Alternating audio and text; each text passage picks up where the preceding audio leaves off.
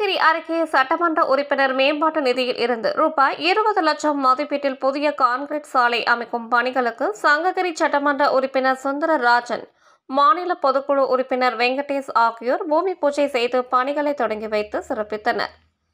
சேலம் மாவட்டம் சங்ககிரியை அடுத்துள்ள மொத்தையனூர் ஊராட்சி கருமாபுரத்தானூர் பகுதியில் சட்டமன்ற உறுப்பினர் மேம்பாட்டு நிதியில் இருந்து சுமார் இருபது லட்சம் ரூபாய் மதிப்பீட்டில் புதிய கான்கிரீட் சாலை அமைக்கும் பணிகளுக்கு சங்ககிரி சட்டமன்ற உறுப்பினர் சுந்தரராஜன் மாநில பொதுக்குழு உறுப்பினர் வெங்கடேஷ் ஆகியோர் பூமி பூஜை செய்து பணிகளை தொடங்கி வைத்தனர்.